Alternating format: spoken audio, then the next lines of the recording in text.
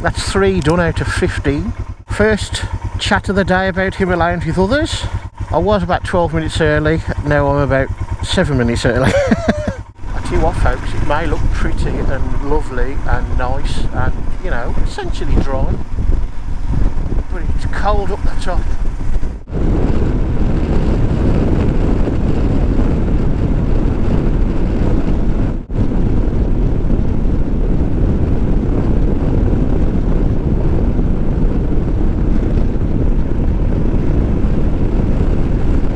Here we are at Llandegla looking for the War Memorial. That come rather quickly, mind you, fairly fast road.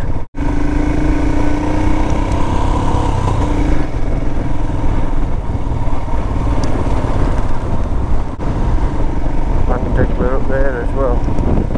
Right, we'll just turn around and have a look. Nothing by the chapel it seems, or is it? Could be. A quick look up here. Ah, I can see it. What looks like it anyway.